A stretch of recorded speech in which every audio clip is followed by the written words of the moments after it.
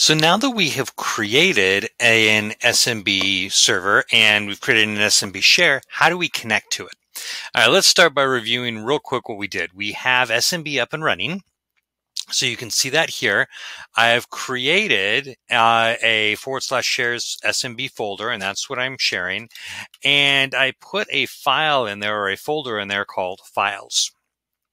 Okay, now I'm going to need the IP address to connect to this because I don't have name resolution set up for a quick demo. So I'm going to do an IPA and that'll show me my IP address. Now I'm going to go over to my other server and from this one, I would install the Samba client. So the command is apt install SMB client. And then the other thing you're going to need is CIFS-utils. Now, this may already be installed in your system. Uh, desktop systems tend to have it installed. Not all of them do. In this case, I've already installed this and it's already the current version. So I'm all set. Now, what I need to do is I need to map this network drive, or I need to mount, it's going to be better terminology. I'm going to need to mount this network drive in uh, this system. So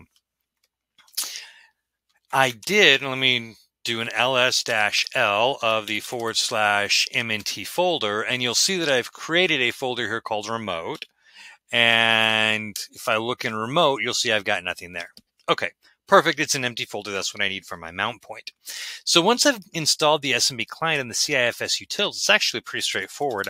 I can mount dash T because I need to specify what I'm mounting. So dash T specifies a type, and this is a CIFS share and it's going to be forward slash forward slash and then the server name. Now remember, I don't have name resolution set up. So I'm going to use the IP address. I'm going to do 134.39.161.99, which is my address. And then I'm going to need the share name. So forward slash SMB.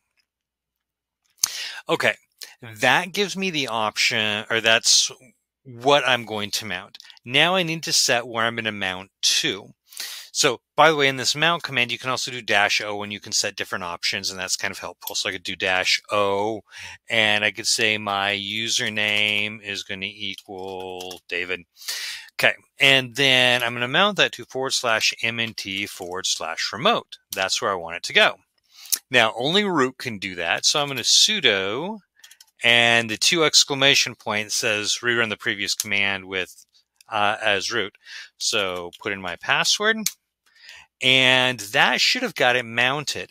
Now, if I type my mount command with no other options and just execute it, you'll see that it lists all of my things that are mounted. And if you come down here towards the bottom, and I can't really point it out with my mouse, but it's like from the command, it's like the third line up forward slash forward slash 139. Okay, that's my mount for my uh, new CIFS connection. And notice it's uh, as you go across there, type CIFS and how we connected and all right. So those are all of our set, uh, settings. And if you look there, you'll even see the file mode, the directory mode. You'll see some of the settings that we set in our previous video when we configured the SMB uh, server.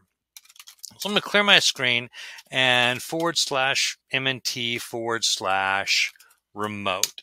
And then if I look, there are my file, that folder called files that I created. Now I'm going to create a new file here. So now remember, I haven't set up any security on this really. I've kind of left things fairly wide open. But if I try to create a file, nano test file dot text, it tells me that the directory is not writable. You'll see that down at the bottom. So I'm going to exit out and I'm going to just do that with sudo. And now I'm creating a new file. So this is a test file created from the remote server. Write out and exit. And there's my file. Now, is that actually on my other server? Well, it should be. We'll just kind of prove it real quick. By here, I'm already in my shares Samba. So lsl, and there's testfile.txt. So I'm going to cat test file.txt And there's the data. Our share is up and running. So we have Samba server installed, working, and we have connected to it from a remote device.